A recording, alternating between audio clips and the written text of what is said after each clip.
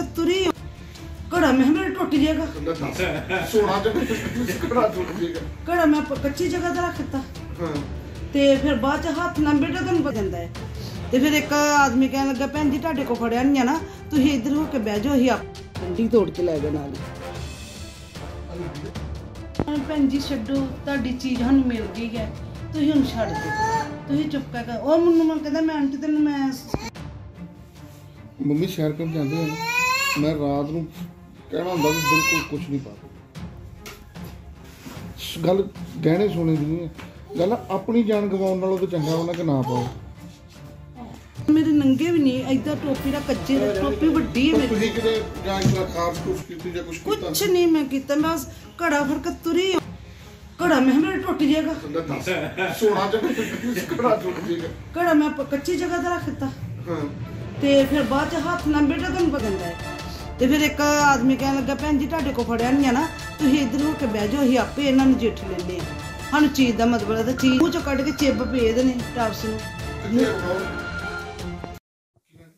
ਮੇਰਾ ਨਾਂ ਰਾਜ ਰਾਣੀ। ਕੀ ਹੋਇਆ ਕੀ ਹੋਇਆ ਸੀ ਮੈਂ ਤੇ ਮੇਰਾ ਪੋਤਾ ਆਂਡੇ ਰਹੀ ਬਾਜ਼ਾਰ ਤੋਂ ਤੇ ਉਹ ਅੱਗੇ ਸਾਈਕਲ ਤੇ ਹੀ ਮੈਂ ਪਿੱਛੇ ਪੈਦਲ ਆਉਂਦੇ ਰਹੀ ਮੈਂ ਘੜਾ ਜਿਹਾ ਫੜਿਆ ਦੇ ਹੱਥ ਵਿੱਚ ਤੇ ਮੈਂ ਕੋ ਤੁਰਿਆ ਨਹੀਂ ਜਾਂਦਾ ਮੈਂ ਹੌਲੀ ਹੌਲੀ ਤੁਰਨ ਡੇ ਰਹੀ ਹਾਂ।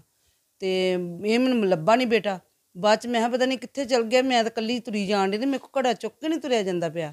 ਮਗਰੋਂ ਆਇਆ ਤੇ ਇਹਨੇ ਮੇਰੇ ਆਣ ਕੇ ਪਹਿਲਾਂ ਟੋਪੀ ਖੋ- ਤਾਂ ਕੀਤੀ ਜਿਹੜੇ ਮੋਟਰਸਾਈਕਲ ਤੇ ਆਏ ਨੇ। ਤੇ ਮੈਂ ਆਖਿਆ ਵੀ ਮੇਰਾ ਪੋਤਾ ਮੇਰੇ ਮਗਰ ਆ ਕੇ ਉਹ ਮੈਨੂੰ ਚੁਕਾਣੀ ਦੇਣ ਡਿਆ ਦਾ ਆ। ਤੇ ਜਦੋਂ ਵੇਖਿਆ ਮੇਰੇ ਕੰਨ ਖਿੱਚ ਕੇ ਟਾਪਸ ਲਾਇਆ ਮੇਰੀਆਂ ਚੀਕਾਂ ਨਿਕਲ ਗਈਆਂ ਨਾਲ ਹੀ ਤੇ ਅੱਗੇ ਦੌੜਨ ਲੱਗੇ ਨੇ ਤੇ ਦੋ ਮੋਟਰਸਾਈਕਲ ਤੇ ਅੱਗੇ ਆਉਂਦੇ ਨੇ, ਉਹਨਾਂ ਨੇ ਆਣ ਕੇ ਟੱਕਰ ਮਾਰ ਕੇ ਸੁੱਟ ਦਿੱਤਾ। ਤੇ ਜਿਹੜਾ ਮਗਰਲਾ ਸੀ ਜਿਹਨੇ ਟਾਪਸ ਲਾਇਆ ਉਹ ਫੜਿਆ ਗਿਆ ਤੇ ਦੂਜਾ ਭੱਜ ਗਿਆ। ਤੇ ਫਿਰ ਚਲੋ ਜਿੱਦਾਂ ਲੋਕਾਂ ਨੇ ਕਹਿ ਕਹਾ ਕੇ ਮੈਨੂੰ ਟੋਪਸ ਮੇਰਾ ਦਵਾ ਦਿੱਤਾ ਤੇ ਇਹ ਆ ਵੀ ਮਾਰ ਤੇ ਲੋਕਾਂ ਨੂੰ ਕੁੱਟਿਆ ਨਾ ਹੈ ਹੀ ਆ, ਪਰ ਉਂਝ ਇਹ ਆ ਵੀ ਚਕੰਨੇ ਹੋ ਕੇ ਰਹਿਣਾ ਚਾਹੀਦਾ ਹੈ। ਜੇ ਮੇਰੇ ਨਾਲ ਵੀ ਇਹ ਕੰਮ ਹੋਇਆ ਹੋਰ ਵੀ ਕਿਸੇ ਨਾਲ ਹੋ ਸਕਦਾ ਆ। ਮੇਰੇ ਕੋਲ ਮੈਂ ਜਿੰਨਾ ਜਨਾਨੀ ਨੇ ਕੀ ਕੁੱਟਣਾ ਹੁੰਦਾ? ਹੈ? ਜਨਾਨੀ ਨੇ ਕੀ ਕੁੱਟਣਾ? ਬੜੀ ਹੱਦ ਹੋਈ ਤੇ ਇੱਕ ਅੱਧੀ ਚਪੇੜ ਹੀ ਮਾਰੇਗੀ ਜਨਾਨੀ ਜਨਾਨੀ ਕੀ ਕਰ ਸਕਦੀ ਹੈ ਕੁੱਟਿਆ ਮੁੰਡਿਆਂ ਬੰਦਿਆਂ ਨੇ ਹੈਗਾ ਮੈਂ ਕਹਿੰਦਾ ਅੱਖਾਂ ਨੇ ਉਹਨਾਂ ਕੁੱਟਿਆ ਚੰਗੀ ਤਰ੍ਹਾਂ। ਮੈਨੂੰ ਇਹਨਾਂ ਤੇ ਮੇਰੇ ਕੋ ਕੀ ਆ ਜਾ ਕੇ ਚਪੇੜ ਹੀ ਵੱਜਣੀ ਸੀ ਮੇਰੇ ਕੋ ਜਾਂ ਮੁੱਕੀ ਮਾਰ ਲੈਣੀ ਜਾਂ ਚਪੇੜ ਨੂੰ ਵੱਜਣੀ ਹੋਰ ਮੈਂ ਕੀ ਕਰ ਸਕਨੀ ਹਾਂ। ਪਹਿਲਾਂ ਵੀ ਇਸ ਤਰ੍ਹਾਂ ਦਾ ਹਾਦਸਾ ਹੋਇਆ ਤੁਹਾਡੇ ਪਹਿਲੇ ਮੇਰੇ ਵੱਲ ਇੱਕ ਵਾਰ ਟਾਪਸ ਮੇਰੇ ਉਰੋਂ ਕੋਈ ਫਕੀਰ ਜਿਹਾ ਆਇਆ ਸੀ ਤੇ ਉਹਨੇ ਮਤਲਬ ਸਾਡੇ ਪਰਨਾ ਝਾੜਿਆ ਤੇ ਪਤਾ ਨਹੀਂ ਕੀ ਕੀਤਾ।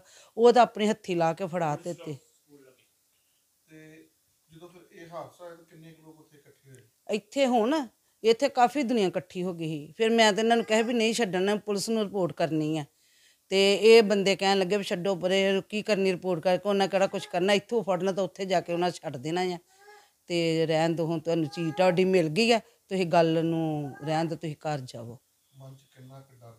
ਡਰ ਮੇਰੇ ਕੋ ਘਬਰਾਹਟ ਇੰਨੀ ਹੋਈ ਮੈਨੂੰ ਕੋਈ ਖਲੋਤਾ ਨਹੀਂ ਜਾਂਦਾ ਮੈਂ ਉੱਥੇ ਮੈਨੂੰ ਕੋਈ ਕਿ ਪਾਣੀ ਦੋ ਕੋਈ ਕੁਛ ਮੈਂ ਤਾਂ ਕੰਬੀ ਜਾਂਦੀ ਪਈ ਹਾਂ ਬੇਟਾ ਜਦੋਂ ਇਹ ਹਾਸਾ ਹੋਏ ਨਾ ਤੇ ਕੁਛ ਨਹੀਂ ਪਤਾ ਲੱਗਦਾ ਆਪਣਾ ਆਪ ਕੰਬੀ ਜਾਂਦਾ ਆ।